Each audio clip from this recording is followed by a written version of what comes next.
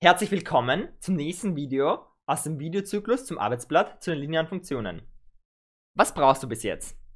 Du solltest bisher wissen, dass eine lineare Funktion die Form f von x ist gleich k mal x plus d hat. k und d sind dabei irgendwelche reellen Zahlen, die eben definieren, welche äh, lineare Funktion wir haben.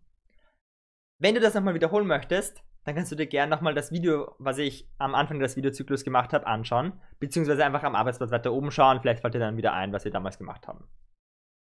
Außerdem solltest du bereits wissen, dass der Graph einer linearen Funktion eine Gerade ist. Und aus der Geometrie solltest du mitbringen, dass zwei Punkte ausreichen, um eine Gerade eindeutig zu bestimmen. Ja, also wenn ich zwei Punkte habe, weiß ich genau, welche Gerade äh, da durchgeht. Was ist das Ziel für dieses Video? Am Ende dieses Videos ähm, wirst du in der Lage sein, aus einer gegebenen linearen Funktion den zugehörigen Graphen zeichnen zu können. Na gut, legen wir los. Wir schauen uns nämlich dieses Kassel hier an.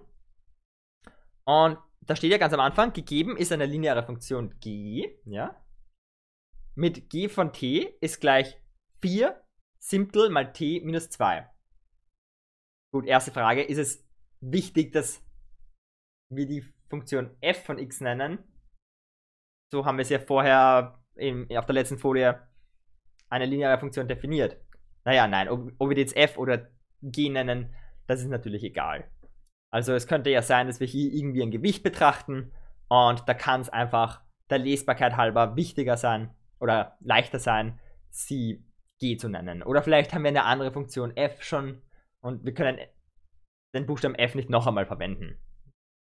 Das heißt, wir sehen, dass g von t ist dann einfach auf der ich sage mal, y-Achse aufgetragen.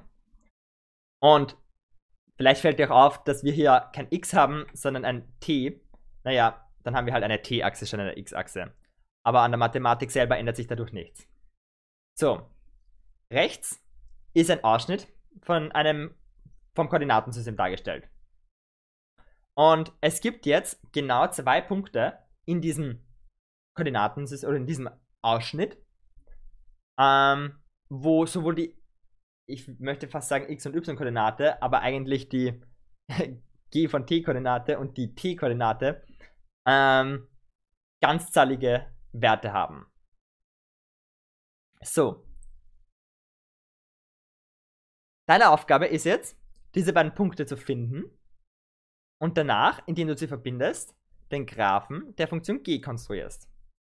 Wie immer gebe ich dir drei Sekunden Zeit, damit du, damit du Zeit hast, das wieder zu passieren und darüber nachzudenken und ein bisschen auf deinem Arbeitsblatt mitzumachen. Und wenn du fertig bist, kannst du dir gerne anschauen, wie ich das gemacht hätte. Also drei Sekunden ab jetzt. Super. Also, wenn wir uns das anschauen, dann haben wir ja, hat ja die Funktion die Form g von t ist gleich 4 Siebtel mal t minus 2.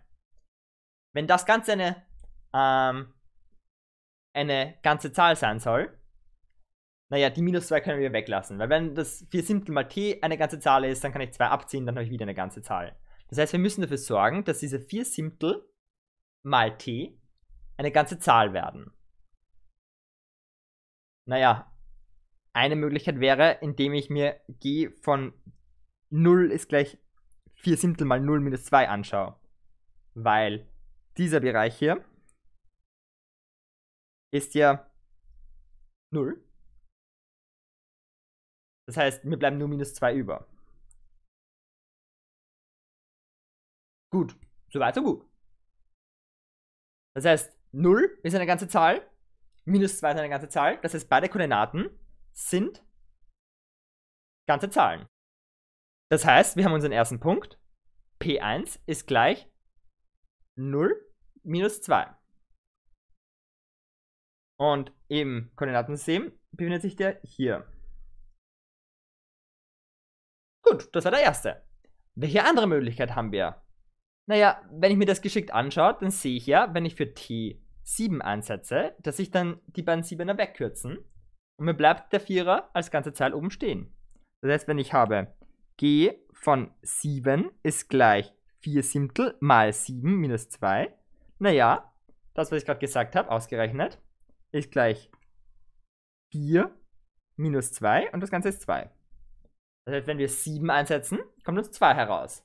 Das heißt, der zweite Punkt, der beide Koordinaten ähm, als ganze Zahl hat, ist der Punkt in einem P2 ist gleich 7, 2. Und wo befindet sich der im Koordinatensystem? Naja, hier herum. Gut. Als nächstes brauche ich diese beiden Punkte nur mit dem Lineal. Ja. Ähm, verbinden. Wenn ich das mache, kommt mir eine Gerade raus. Und diese Gerade entspricht genau den Graphen der Funktion. An und für sich wären wir jetzt fertig mit diesem Arbeitsauftrag. Aber wir können gerne noch die Probe machen. Und zwar können wir überprüfen, ob diese Gerade die richtige Steigung hat.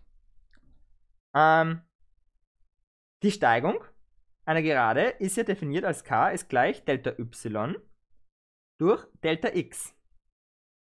Und naja, was ist denn das Delta y und das Delta x? Wenn wir hier das Steigungsdreieck einzeichnen, dann habe ich ja als Delta y die, also 4 und Delta x 7. Das heißt, ich habe genau 4 geteilt durch 7. Und wenn du das vergleichst mit der ursprünglichen, mit der ursprünglichen Funktion, die wir gegeben gehabt haben, da steht ja hier genauso 4 Siebtel.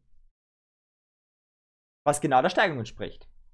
Das heißt, wir können sagen, dass die Ergebnisse, die wir haben, vernünftig sind, weil uns genau ähm, die Steigerung herauskommt, die wir am Anfang gegeben gehabt haben. Ich hoffe, dir hat das Spaß. Ähm, wir sehen uns im nächsten Video. Bis dann. Ciao.